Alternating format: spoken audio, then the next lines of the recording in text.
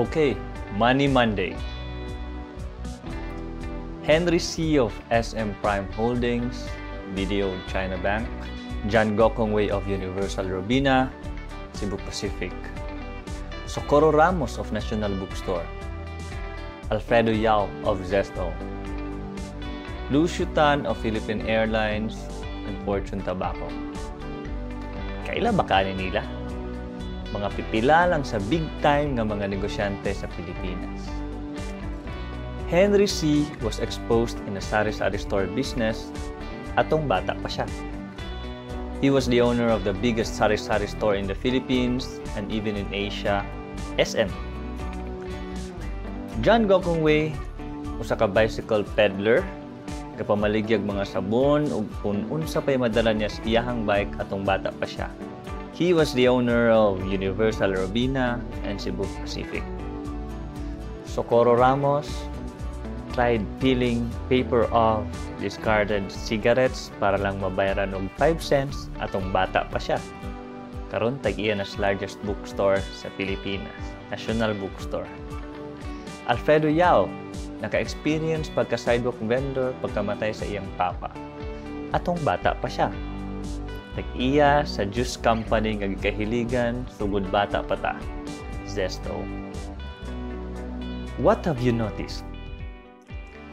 Regardless kung dato man ang uban sa ilahadaan, regardless kung sila mismo na maligya o nitabang lang, ang ilahang exposure sa business and handling finances during their childhood surely gave an impact on how they have started and sustained their huge money-making businesses.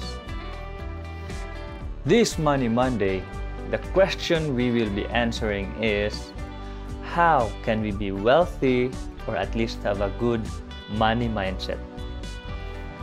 A tip or lesson nga makuha nato ni is samtang bata pa lang yun, dapat makatuon na ta unsa ang value sa kwarta. Kaunsaon na pagkuha, kaunsaon na paggasto, o kaunsaon na pag-amping. Kung tigulang na ta, we can teach our kids, mga pagmangkon, mga anak sa atong friends. Some of the tips nga atong mahatag, natay tulo. Number one, expose them in your work or business. Exposing the kids as young as they are sa work and business will give them an idea how do you earn that hard-earned money. Makita nila ang kakapoy, ang kalisod aron lang makakwarta. Mostly sa mga kaspoiled ng mga bata, kay katong wala kahibalo, giun sa pagkuha ng kwarta nga ilang ginabalon, pinapliti, kwarta panggastos, mga gamit, ug pagbayad sa mga ginapangkaon. Ilarang kahibalan kay mangayo, mangayo, mangayo. Mo nang makaingon na lang dayon mo sa inyong mga anak. Unsa inyong pagtuon nako? Ginalibang ang kwarta?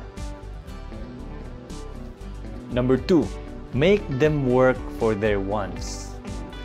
Giving a kid everything he or she wants will allow higher chances of not taking care of what they receive. Make them work for what they want. Kung gusto siya dulaan, pwede nimo ipabuhat og mga butang in return sa ilang gusto. Ang uban di mo tuani, pero sa tinud-anay, harmlessness mga bata. Example lang. Okay, We will buy the toy basta kay di na ka mag-usik-usik sa imong pagkaon ha. We will go to the park basta kay mag-sleep ka in the afternoon. We will get the food for you basta magbasa ka ani nga books ha. And if dagko-dagko na nga mga bata, pwede raman money ihatag actually. Basta kay guided na matudluan sila og save in the right way. Ang importante, make them work for it dili kay inconsistent na dayon tas atong sabot nga bahalag wala nila gibuhat. Hatagan gyapon nato diha na dayon na magsugod they will control you. Remember bright ang bata. Number 3 make them sell. Make them sell. Allow them to learn buy and sell or create and sell You may teach them simple food recipes na pwede nila buhaton o lutuon, then sell it among the household members. Baligya kang kuya, kang ate, kang lolo, kang lola, kang kinsa pa na diha. I remember when I was a kid, I started selling candies and other stuffs since grade 2 until grade 5, I think. Then, nagnegosyo pod ko otro pagka high school. You know what it taught me? Nga dili sayon mangitag kwarta.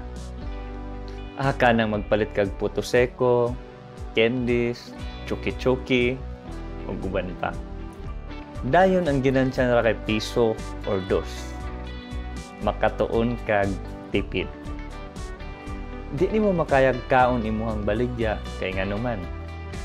Kung mukaon kag duha ka potoseko, meaning wala na ko'y ginansya. Unsay pulo sa ong pagpamaligya. I can then spend the money on things I really wanted or needed. Daghan matunan. Katuon kong tigom, makapabagag dagway, mas maayo pa ko mo solve og plus og minus. According pa sa Bible, train up a child in the way he should go, and when he is old, he will not depart from it.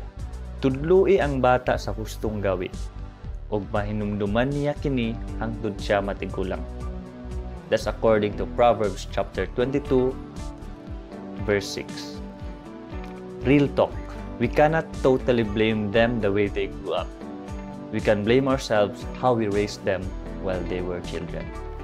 Di man panigurado madato gyud na pagtako ato ang mga bata, pero makasigurado ta that they will learn how to value not just money, but everything they have. And kung naatayin ana nga napadako na bata, sabaw patas dato. Such a blessing indeed. If you liked it, you may share it to others so that we can help them. Daghang salamat sa pagpaminaw this Money Monday. God is so good. Ugma na pod.